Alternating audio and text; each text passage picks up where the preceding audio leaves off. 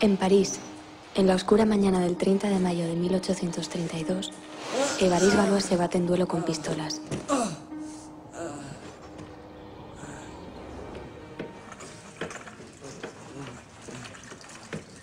Las últimas palabras dejadas a su hermano son, no llores, necesito todo mi valor para morir con 20 años. La noche anterior al duelo, Galois escribe tres cartas. Una va dirigida a todos los republicanos. Muero víctima de una infame seductora y de dos de sus secuaces. Me arrepiento de haber dicho una funesta verdad a hombres que no estaban en condiciones de escucharla con sangre fría. Pero en fin, dije la verdad. Perdonen a los que me mataron. Tienen buena fe. La segunda carta la dirige a su mejor amigo. Esa larga carta contenía la revolucionaria teoría matemática que lo haría inmortal. La teoría de grupos. La carta finaliza con... Durante mi vida he osado en varias ocasiones avanzar proposiciones de las cuales no estaba muy seguro. Pero todo lo que he escrito aquí está desde hace casi un año en mi cabeza. Y está en mi interés no equivocarme para no levantar suspicacias por haber enunciado teoremas de los cuales no tendría la demostración completa. El interés de Galois por las matemáticas comenzó a los 16 años cuando se inscribe por primera vez en un curso de esta materia. El director de estudios. Es la pasión por las matemáticas la que lo domina. Un año más tarde, Galois hace el examen de admisión en la escuela politécnica. Pero no lo aprueba. Sin embargo, logra inscribirse en un curso más avanzado de matemáticas, cuyo profesor informaría. Este estudiante se desempeña en las más altas esferas de las matemáticas. Galois, motivado e ilusionado, presenta un estudio a la Academia de las Ciencias. Pero su examinador, uno de los más reputados matemáticos de su época, enferma. Me es difícil decirte adiós, querido hijo. Eres mi hijo mayor y siempre he estado orgulloso de ti. Un día serás un gran hombre y un hombre célebre. Sé con certeza que ese día llegará, pero también sé que los sufrimientos, la lucha y las desilusiones te esperan. Serás matemático, pero las matemáticas, la más noble y la más abstracta de todas las ciencias, por más etérea que sea, tiene sus raíces profundas en esta tierra en que vivimos. Y las mismas matemáticas te permitirán escapar a tus sufrimientos y a las de otros hombres. Lucha, hijo mío, lucha con más valor que el que yo he tenido.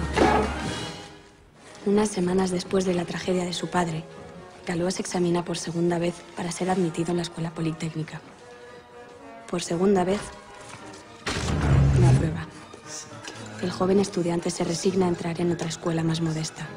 Manda un segundo estudio, ahora a otro célebre matemático, para que fuese considerado para el Gran Premio de Matemáticas. Pero muere antes de leerlo. El premio es otorgado a otros matemáticos de reconocido prestigio. El trabajo de Galois se pierde. Nunca llega a manos del jurado. En prisión, intenta suicidarse apuñalándose, pero los demás presos lo detienen. Embriagado abre su alma. ¿Sabes lo que me falta, amigo mío? Es alguien a quien pueda amar y amar solo en espíritu. Perdí a mi padre y nadie ha podido reemplazarlo. En marzo de 1832, una devastadora epidemia de cólera barre París. Évariste Galois es transferido de la prisión a una pensión de convalecencia, donde es puesto en libertad bajo palabra. Al terminar su sentencia, es liberado y se enamora de Stephanie, de 17 años. Intercambian cartas. Pero al poco tiempo, ella intenta distanciarse de esa relación.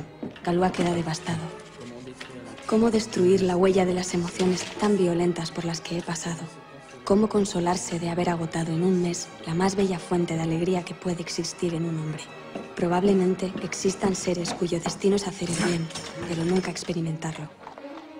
Creo pertenecer a esos seres. Me he desencantado de todo, hasta del amor por la gloria. ¿Cómo podría un mundo que detesto mancharme? Mis buenos amigos, he sido provocado por dos patriotas.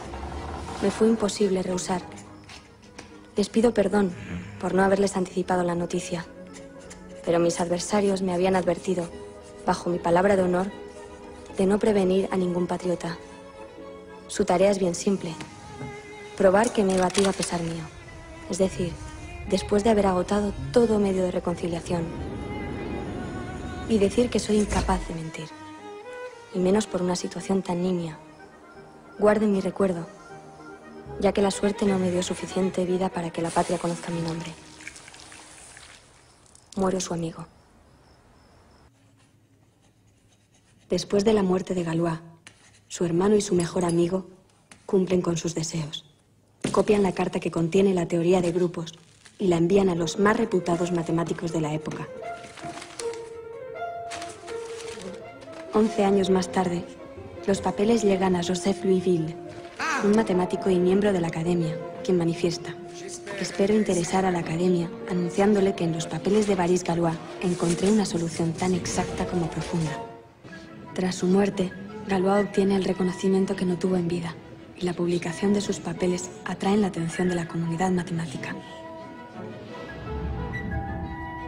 La teoría de Galois se empieza a popularizar en Europa y varios científicos intentan aplicarla en sus disciplinas. Entre ellos, el doctor Paul Kammerer, un biólogo austríaco que llegó a ser considerado como el próximo Darwin. El doctor Paul Kammerer pasaba horas sentado en los bancos de los parques públicos coleccionando casualidades, anotando el número de personas que caminaban en ambas direcciones, clasificándolas por sexo, edad, ropa, si llevaban paraguas o bolsas. Hizo lo mismo durante sus recorridos en trolebús de su casa a su oficina. Luego, Analizó sus tablas y observó que ciertos sucesos altamente improbables se agrupaban en series, igual que en una racha de suerte en el juego.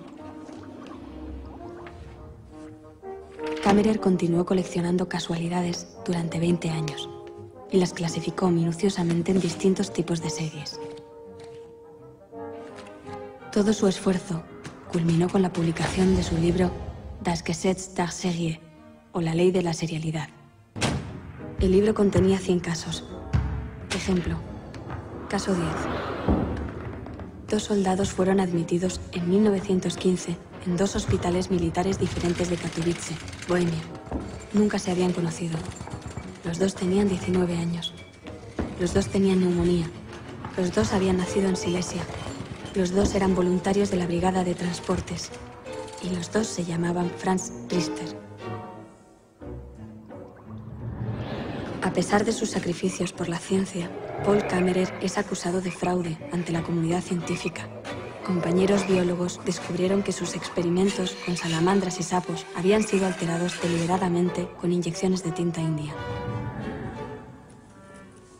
Kammerer se declara inocente, culpando a un asistente que le traicionó, pero su reputación está ya manchada. Cae en una depresión profunda y se suicida en 1926 en un sendero de una montaña de Austria. La serialidad es el cordón umbilical que conecta el pensamiento, los sentimientos, la ciencia y el arte con el útero del universo a través del cual nacen.